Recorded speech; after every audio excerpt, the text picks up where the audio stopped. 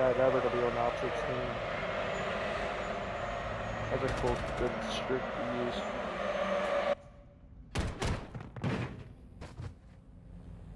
Dude. I'm jumping down the elevator shaft. There's a guy here, dude. Oh, no. Got him. I said the wrong thing the right time.